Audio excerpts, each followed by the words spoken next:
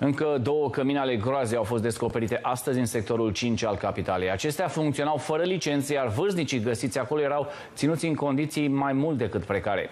Colega mea, Ana Maxim, este în fața uneia dintre aceste cămine și vine cu detalii. Bună seara, Ana, te ascultăm!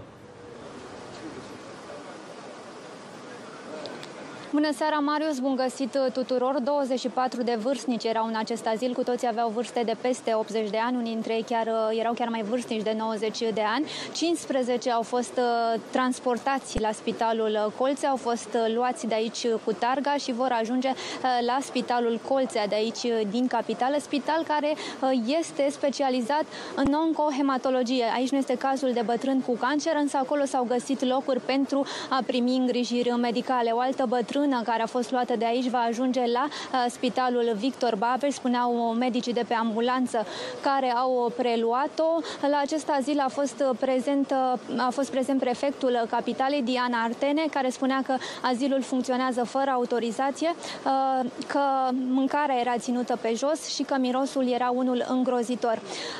Spunea însă de asemenea că nu au fost găsite urme de lovituri pe bătrâni, dar urmează să se facă investigații, să se stabilească urmărească uh, mai departe acest uh, lucru. Patronul acestui azil mai are încă unul situat uh, la două minute de mers pe jos de aici. Acolo ar fi 50 de bătrâni. Cazurile grave se pare însă că ajungeau la acest azil. A fost aici în control și primarul Piedone, care spunea că a venit după ce a fost sesizat de fosta soție a patronului azilului. L-am întrebat și despre colectiv, de ce nu a făcut și atunci controle în cazul clubului. Iată ce a răspuns. Vedem în ultima vreme că faceți tot felul de controle în diferite locuri.